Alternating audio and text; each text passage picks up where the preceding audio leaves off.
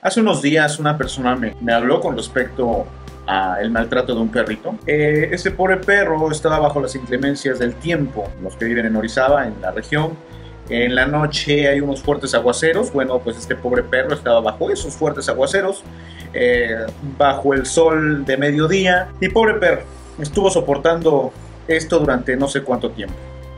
Eh, trataba, estas son unas imágenes del perrito, el lugar en donde estaba amarrado y pues bueno, trataba de atajarse de, las inclemencias del tiempo hasta donde podía, ¿no? El techo no cubría la parte donde él dormía y pues el pobre animal estaba ladra y ladra y ladra todo el tiempo pidiendo que le hicieran caso.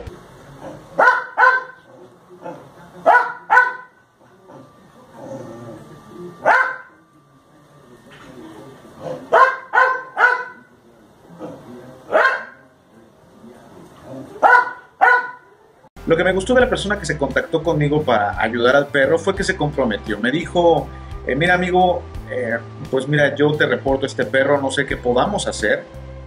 Pero fíjense, desde el podamos hacer, no es el clásico, porque es, este tipo de mensajes siempre me llegan, no es, Erika hay un perro, rescátalo. Para realizar un buen trabajo, para realizar una buena actividad, hay que involucrarse si a ustedes les gustan los perros, si ustedes se preocupan por su bienestar, bueno, pues involúcrense, involúcrense en ayudarlos, ¿no? Esa persona me, me agradó mucho que se haya involucrado y que me haya dicho, ¿qué onda? ¿Qué hacemos, no? Entonces yo le dije, mira, aguanta, vamos a ver la situación. Eh, yo también quiero corroborar que el perro esté en la condición que tú me dices para pues no hacer un oso o quedar en ridículo, ¿no? Porque en algunas ocasiones he ido a algún domicilio y el perro está toda madre y nada más es por el chisme de las personas, ¿no? El, hecho de hacerse daño como vecinos. Entonces, en este caso, pues fui a ver al perro, eh, me asomé por una barda y si efectivamente el pobre animal estaba ladra y ladra, independientemente de las fotografías y los videos que esta persona me proporcionó. Bueno, tenía la advertencia de que estas personas o las personas que vivían en este lugar eran un poquito especiales, eran agresivos, etcétera, ¿no? Pero bueno, me aventuré a ir regularmente cuando hago ese tipo de rescates, realmente les juro que tengo eh, cierto temor. Se me está moviendo la pinche cámara, espérense. Espérense, amigos. No, regularmente cuando voy a, a, este tipo de rescates o este tipo de ayuda, me da un cierto temor, cabrón. Siempre, siempre estoy a la expectativa de cómo se portará la gente, ¿no? Cómo, cómo te va a recibir, qué chingaderas te va a decir, te va a decir groserías, no sé, cara. Pienso mucho cuando voy a un lugar. No me gusta hacer corajes, no me gusta hacer este, no me gusta encabronarme, ¿no? Pero bueno, ahí fui.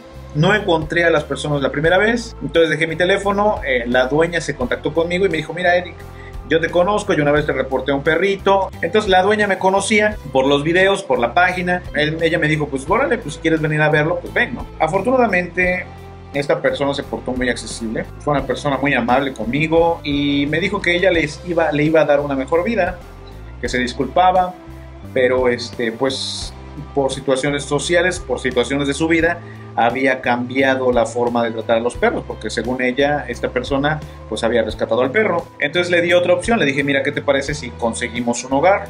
De hecho, el perro ya tenía un hogar, ya una persona al ver las imágenes del animalito en las condiciones en las que estaba, me dijo, ¿sabes qué? Pues yo lo adopto, ¿no? Él dijo, o sea, que a toda madre, ¿no? Ya luego, luego encontré un hogar, eh, esto se volvió súper rápido. En fin, este, pues me dieron al perro, me lo llevé, pues aquí están las imágenes, todo lo que les estoy relatando pues lleva imágenes, ¿no? Este, me llevé al perrito, iba con él, toda madre, íbamos caminando. El perrito pues estaba feliz, el güey, no imagínate, después de tanto tiempo estar amarrado, pues ahí iba conmigo, lo llevaba con la cadena y pues feliz el perro, ¿no? Entonces cuando llegó a un campo abierto estaba feliz, ya no sabía ni qué hacer, dónde miar, o sea, no sabía ni qué hacer el perro, ¿no? Estaba muy contento y yo, yo también estaba muy contento porque ese tipo de cosas para mí son logros, para mí son éxitos y eso es muy importante, sentir sentirse útil. Toda la vida me ha sorprendido la actitud de los perros, ¿no? El agradecimiento eh, que tienen contigo cuando los rescatas, cuando los ayudas. Este perro no fue la excepción. Eh, me acuerdo que me senté eh, en, una banqueta este, esperando a las personas que iban a adoptar al perro, que se lo iban a llevar. Pero no, no, no, el perro bien contento, bien agradecido y de verdad, para mí hacer esto es una experiencia hermosa, es una de las experiencias más bonitas que he tenido en mi vida y agradezco mucho al universo que me deje hacer lo poco que puedo hacer por ellos. Entonces, amigos, el mensaje, el mensaje de este, de este video es que, amigos, si ustedes quieren ayudar a un perro, no le dejen todo el desmadre a alguien. Involúcrense, involúcrense, eso es lo más importante. Esto es mm, netamente humanitario, esto es netamente del corazón, no es una obligación de las personas hacerlo. De mi parte, yo le tengo mucho cariño a los seres vivos, eh, los quiero muchísimo, no sé, me causan gran ternura me causan muchas cosas, de verdad se los juro. Eh, soy una persona muy objetiva en lo que hago y bueno, yo creo que eso me ha servido para continuar haciendo lo que hago hasta ahora, ¿no?